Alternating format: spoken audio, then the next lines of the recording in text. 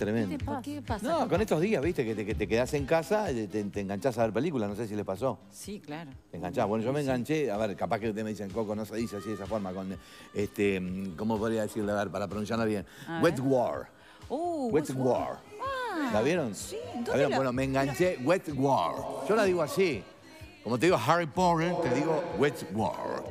¿Sí? Y me enganché. Y ahora me entero que ya está la tercera temporada. ¡Ah, qué bueno! No, no, no. Tremenda, tremenda. De Wet War. No se lo pierdan. Realmente espectacular. ¿Y dónde, dónde la ves? ¿Y cómo dónde? ¿Dónde la ves? ¿En dónde? En Nuevo Siglo, en NS Now, NS Now de Nuevo Siglo, ahí tenés esta temporada y un montón de películas para ver. Así que si te enganchás, Nuevo Siglo es la solución. Bueno, vamos a hacer otro contacto vía Skype a, a China. Nos vamos a China, vamos a entrevistar a la doctora en matemática grado 5, investigadora y docente. Está radicada en el sur de China.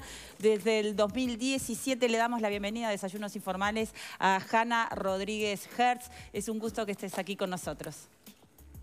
¿Qué tal? ¿Cómo están? Mucho gusto.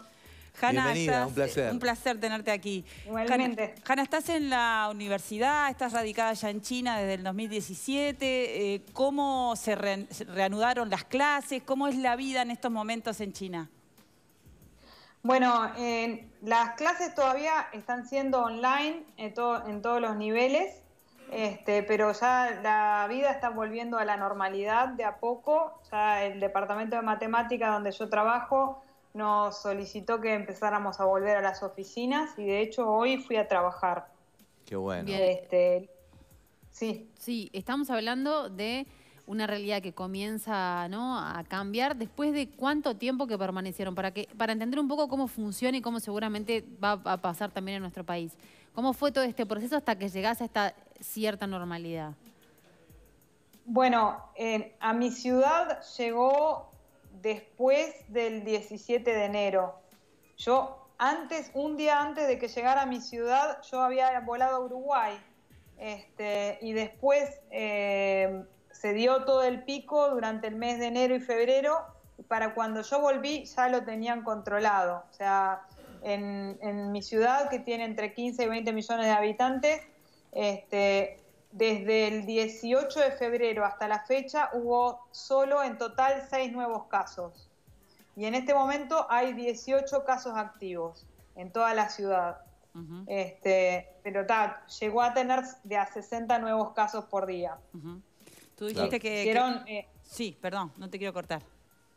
que fue muy importante que la gente eh, acompañó las medidas de quedarse en la casa, ¿no?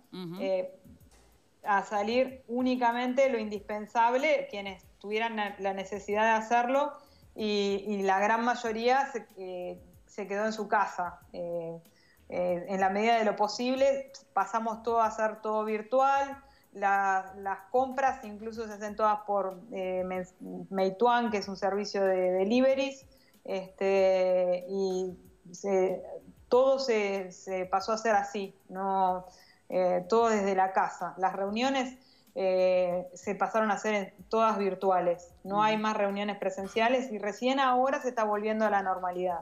Tal cual. Cuando vos decís una ciudad de 17 millones de habitantes y hablas de ciudad y nosotros como país que somos 3 millones este, en todo el país, este, realmente eh, tenemos ¿Qué poder? que poder. Eso en principio.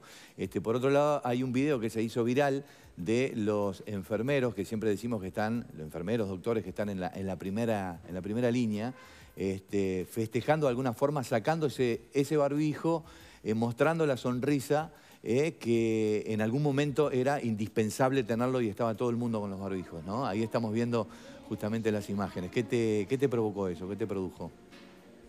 No, es decir, acá los médicos son héroes, eh, la verdad que han estado en el frente de batalla y han este, trabajado muchísimo y lo que es importante saber, China ha enviado delegaciones de médicos a Italia y, y además es importante que lo sepa nuestro canciller Ernesto Talvi y que lo sepa nuestro presidente Luis Lacalle Pou, que China está haciendo donaciones a los presidentes y cancilleres que se, que se han puesto en contacto con China y se lo han solicitado.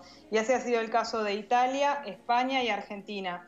Y una donación de China a Uruguay con el tamaño de Uruguay eh, puede ser de, de muchísimo impacto, Por porque con un tamaño relativamente pequeño en la escala china de, kits de, testeo o de mascarillas pueden hacer una enorme diferencia en nuestro país.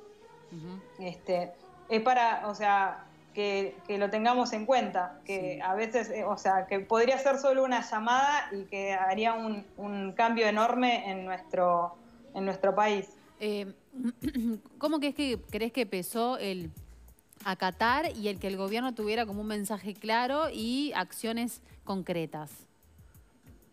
Yo creo que es fundamental. En, este, en Corea también se dio así, la gente acató, no, de, entrada, pero en un momento dimensionaron lo que estaba pasando y la gente se quedó en sus casas y trató en la medida de lo posible de, no salir, de, bueno, las clases fueron online, se pasó mucho al teletrabajo, este, las reuniones, o sea, hasta el día de hoy en Uruguay todavía se ve que se reúnen los equipos y hay reuniones de muchas personas. Pero ¿crees, que, ¿crees que fue por miedo, que fue por conciencia? ¿Cómo lo vivió la gente a nivel más emocional, te pregunto? Y la gente acá eh, tiene eh, un comportamiento bastante colectivo. Este, o sea, si hay que hacerlo, se hace.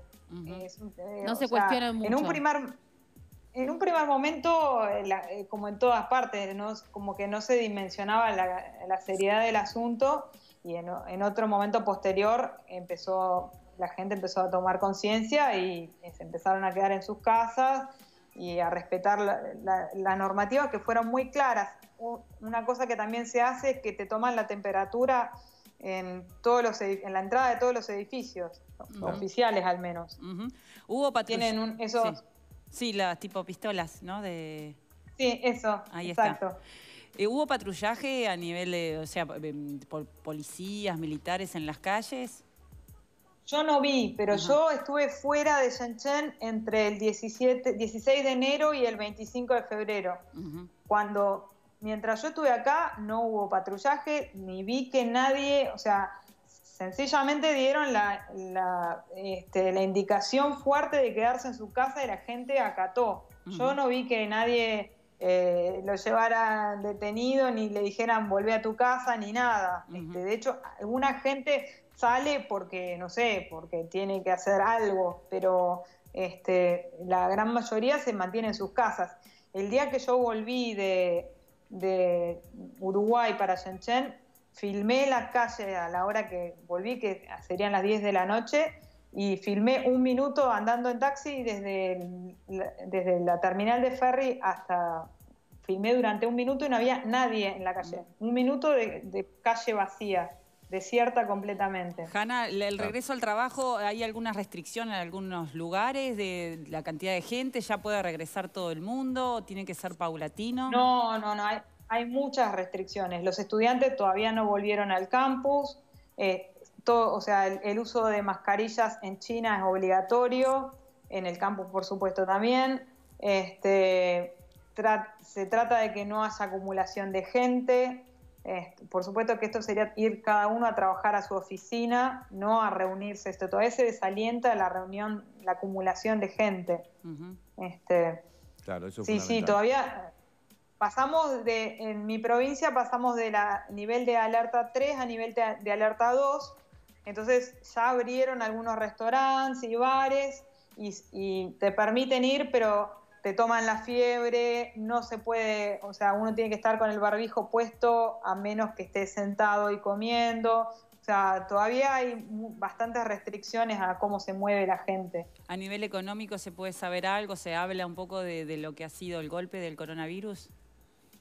Y ha sido bastante importante. Yo leía que este, la industria tuvo una caída del 13,5%, me parece, si no estoy mal informada este, y, los servicios creo que todavía más.